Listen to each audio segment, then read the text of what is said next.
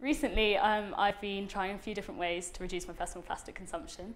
Um, by 2050, there's going to be more plastic waste in the sea than there are fish, which is really concerning. So um, three of the main things I've been trying to do um, are firstly using a tote bag instead of using a plastic bag.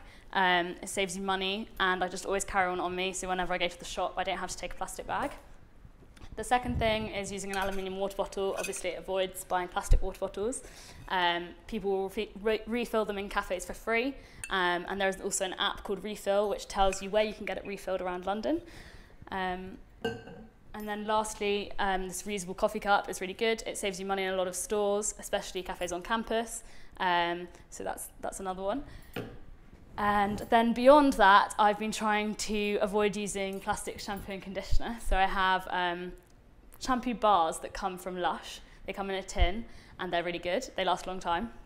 And then the other thing I've tried to do is not to buy um, fruit and veg in plastic packaging. So if you go to uh, independent stores, fruit and veg shops, you're more likely to get loose fruit and veg and then you don't have to take a plastic bag. So those are my main tips for how to reduce your personal plastic consumption.